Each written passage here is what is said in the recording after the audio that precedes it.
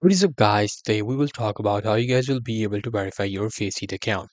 Well, the process of the Faceit account verification is pretty simple. For that, as you guys can see, I'm on Google now here. Simply search for Faceit and then simply add account verification. Now, search for that and you'll be able to find these links popped up and you will be able to find these links. Just click on the first link, which should be go verify yourself. As you can see, you have to verify your account and this is the process. In order to verify your account, first of all, you need to log in. If you click on this verify now, it will take you to the login page.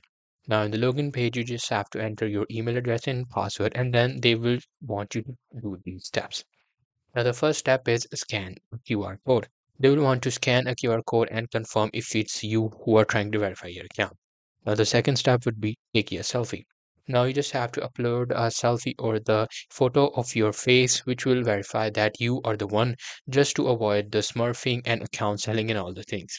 Now, after uh, taking a selfie, you just have to scan your document ID as well. Document ID is required because just in case you can, you know, take a picture of anyone else, so you just have to confirm that both your selfie and this ID, the photo and the ID matches. If that matches, your uh, ID will be verified, and that's how you'll be able to verify your Faceit account. Hope you guys find this video helpful.